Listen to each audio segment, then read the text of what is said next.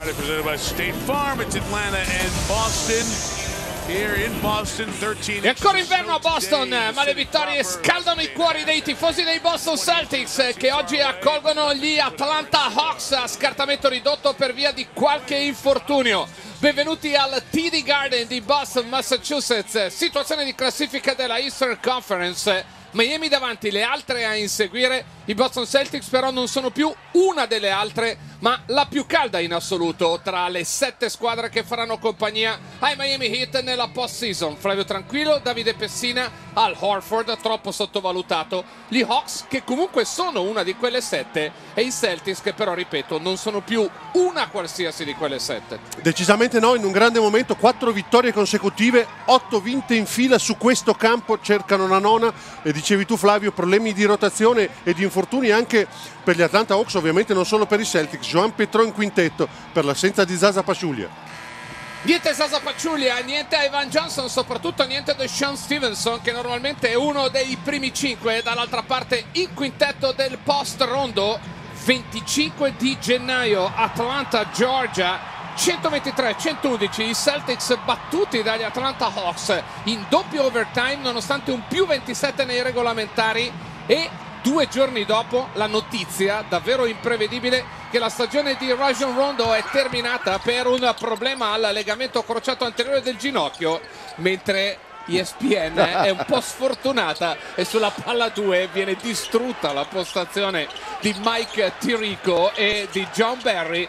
Palleggio per Jeff Teague il primo possesso per gli Hawks che muovono bene il pallone tiro in ritmo e a bersaglio per Devin Harris. Buona pazienza in questo caso, la difesa di Boston cerca di essere aggressiva subito, può anche cambiare tanto, ne parleremo nel corso eh, di questa partita, però Atlanta ha avuto pazienza, ha ribaltato il lato. Brandon Bess a ribaltare per Courtney Lee sul lato di Kevin Garnett in post basso contro Johan Petro il francese lascia spazio un po' timida la difesa del numero 10 due punti subito per Kevin Garnett. I Celtics reduci dalla vittoria in rimonta 11 a 0 negli ultimi 4 minuti e 36 secondi. Forse l'avete seguita magari anche in diretta qui su Sky Sport contro gli Indiana Pacers. Blocco di Petro si allarga Horford tiro in ritmo del domenicano che sbaglia rimbalzo per Courtney Lee e conduzione laterale dalla transizione da parte di Paul Pierce che ha siglato la vittoria di Indianapolis non con un tiro ma con un blocco e una difesa sull'ultima azione.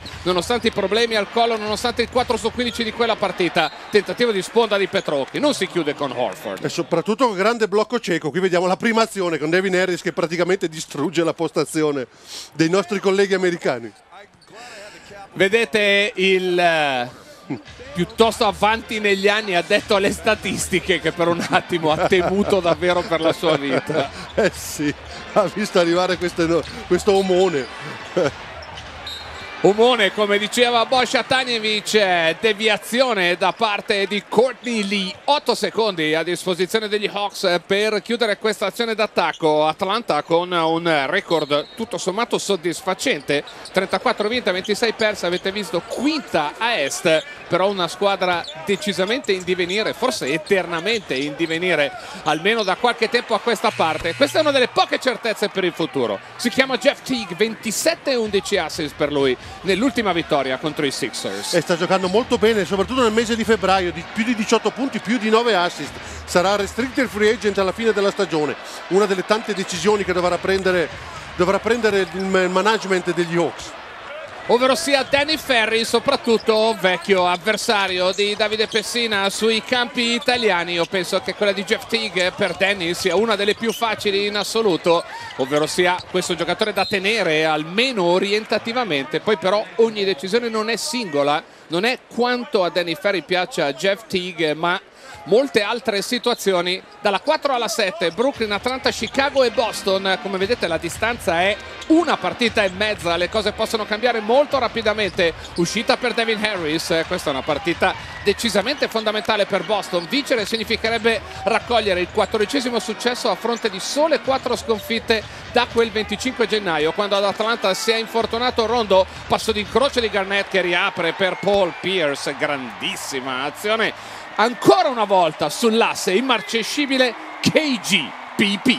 Davvero immarcescibili condizioni fisiche ottime, nonostante Paul Pierce abbia problemi al collo, però riescono comunque a giocare una pallacanestro credibile e soprattutto riescono a essere utili in tanti parti del gioco, poi questo difensivamente è forse il numero uno della Lega si mangia letteralmente il palleggio un po' troppo disinvolta di Jeff Teague Avery Bradley al ferro con eh, l'appoggio va a bloccare Petro attacca Teague che però naturalmente è un po' scosso da quello che è successo buon lavoro difensivo di Brandon Bass grande rotazione di Garnett. Horford mette nell'angolo. C'è Smith fuori dalla linea di tiro da tre punti. Riceve da Petro. Prende il tiro in ritmo senza esitare. Questa volta il tiro da lontano di Josh Smith. Croce e delizia degli Hawks delle ultime stagioni.